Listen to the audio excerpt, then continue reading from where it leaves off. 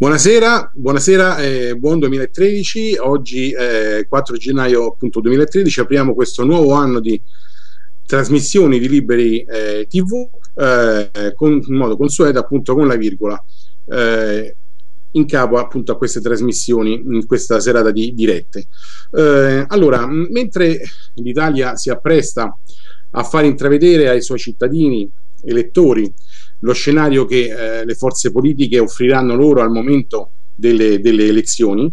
fornendo un po' di luce nelle tenebre in cui stazionano mestamente proclami di riformismo, eh, di rigorismo, di svolte imminenti, eh, di autoproclamazione di outsider, sedicenti onesti e capaci. Ecco, mentre accade tutto questo, io ho pensato appunto di trascurare tutto ciò in questa virgola per commentare con voi un fatto, una, una serie di fatti che diventano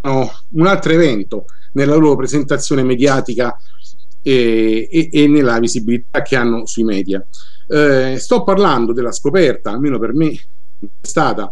della grave situazione in cui ehm, verte la vita e la condizione delle donne in India. Eh, L'India paese emergente, l'India che è una delle potenze economiche accreditate come protagonisti eh, nei prossimi decenni, protagonisti a livello globale, nell'economia, nell'industria. È un po' di settimane che i media eh, diffondono notizie su, di stupri e di maltrattamenti sulle donne che avvengono con grande frequenza in questo grande paese, peraltro di antiche e nobili tradizioni culturali. Qualche premessa è doverosa, stiamo parlando mh, di un paese che ha più di un miliardo di abitanti, eh, che ehm,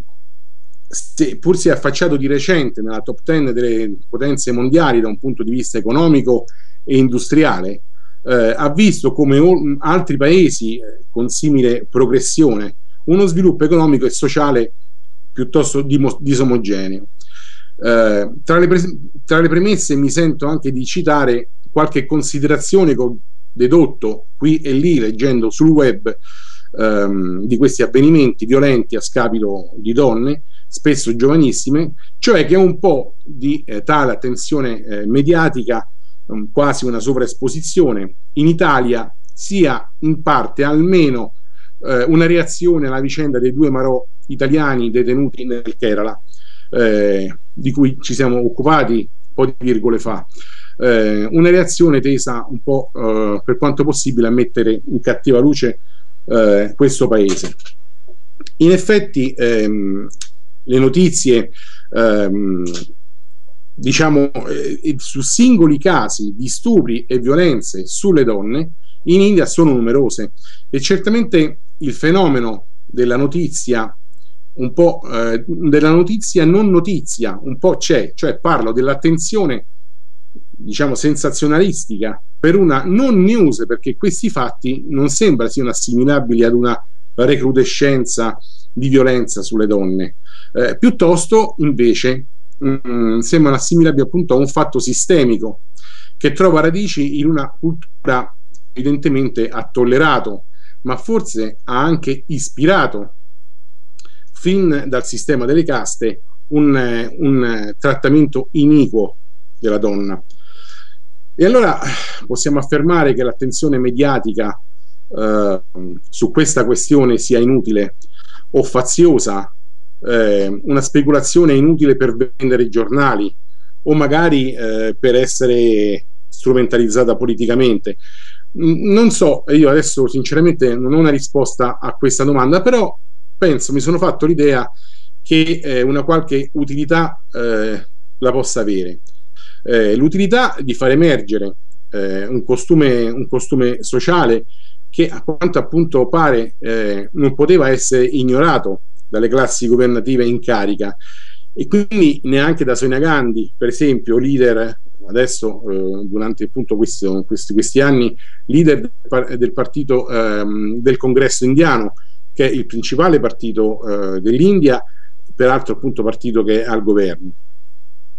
In tal senso infatti si cominciano a sentire delle voci di velata critica per aver fatto poco contro questi fatti tanto diffusi quanto noti.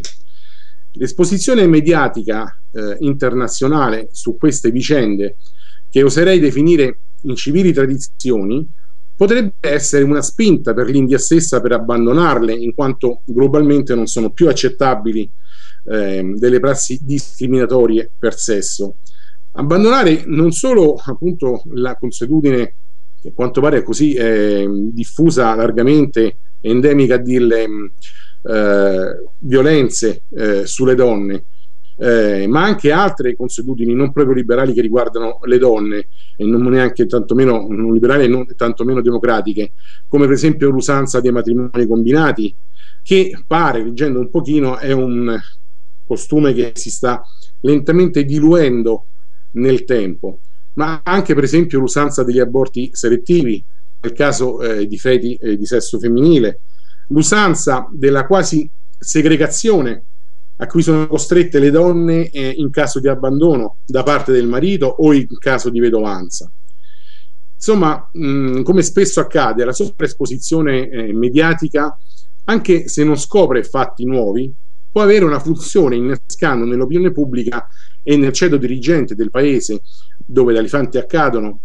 sia il dibattito sia la presa di coscienza nell'opinione pubblica e nel ceto dirigente del paese appunto dove accadono questi fatti ehm, che appunto sono stati trascurati per troppo tempo e che sono degli abomini liberticidi.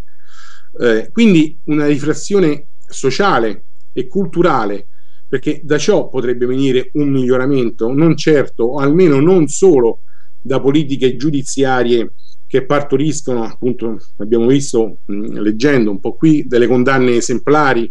degli, c'è qualcuno che inneggia pene di morte, cose di questo genere, eh, di cui purtroppo si ha notizia, perché purtroppo il rispetto alla libertà e il rispetto delle, delle, persone non è una cosa che si impartisce con, con sentenze. Mm, la speranza e un pochino anche la fiducia che possa accadere, io la estenderei anche ad altro. Sarebbe bello che i lettori, mh, anche quelli che, che leggono con più morbosità tra un particolare raccapricciante mh, e l'altro, in un momento di eh, lucidità e autocoscienza, si chiedessero se quei comportamenti, quelle tradizioni così liberticide della concezione eh, della donna, eh, appunto siano proprio soltanto di paesi lontani e, ed emergenti, oppure anche dell'Italia, che non è certo emergente, ma direi più che altro affondante. In tal caso dalla morbosità si passerebbe alla riflessione ed evidente sarebbe il valore etico dell'informazione. Direi di non mettere limiti alla provvidenza come di questi tempi, direbbe qualcuno, e confidiamo che le notizie di quei fatti avvenuti nel paese dell'Indo possano aiutarci anche a riflettere sulle tradizioni liberticide che affliggono l'Italia in tema di rapporti uomo-donna vi lascio con questa riflessione che spero appunto susciti un po' di dibattito eh, sul, sul, nostro sito e, e ovviamente eh, volendo anche su YouTube dove verrà eh, archiviata questa, questa, virgola come tutte le altre trasmissioni di Libri TV. Eh, a questo punto io ringrazio per questa serata la regia mh, Donato Volpicella per la regia ehm, di questa serata e mh, ricordo eh, che Libri TV è un'associazione, ve lo devo ricordare, anche per il 2013 è un'associazione che si autosostiene e che quindi sarebbe gradito ovviamente che vi iscrivesse e ci deste una mano da un punto di vista non solo economico a realizzare appunto queste, queste trasmissioni. Um, vi eh,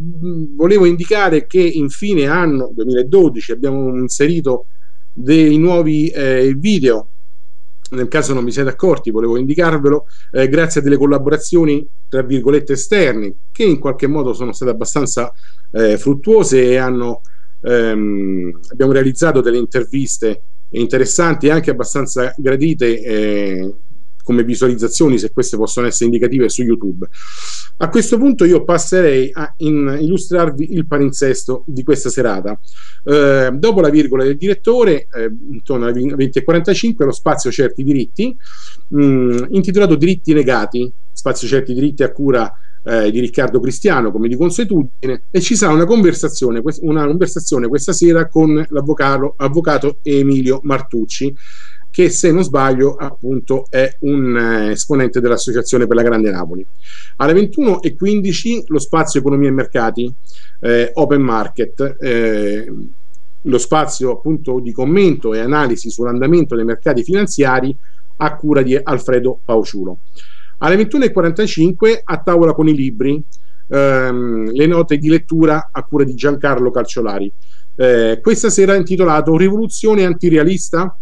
eh, e sarà appunto una nota di lettura su un libro che si intitola Delle realtà, fini della filosofia, un libro di Gianni Vattimo, eh, Garzanti, editore, un libro del 2012. Eh, alle 22.05 Voci transnazionali. Appunto, ci sarò io che condurrò questo, questo spazio. Eh, questa sera parleremo di Siria e avremo ospite con noi eh, sulla questione siriana, ovviamente Shadi Amadi, giornalista che ormai conoscete eh, ospite eh, gradito di eh, Libri TV eh, già più di una volta. Alle 23, alle 22.35, ehm, sperando appunto di riuscire a rispettare ehm, senza problemi appunto questo ordine e questi orari eh, leggera euforia eh, le, lo spazio di notizie approfondimenti dal panorama antiproibizionista eh, a cura di, Ste- di Claudia Sterzi segretario dell'associazione radicale antiproibizionisti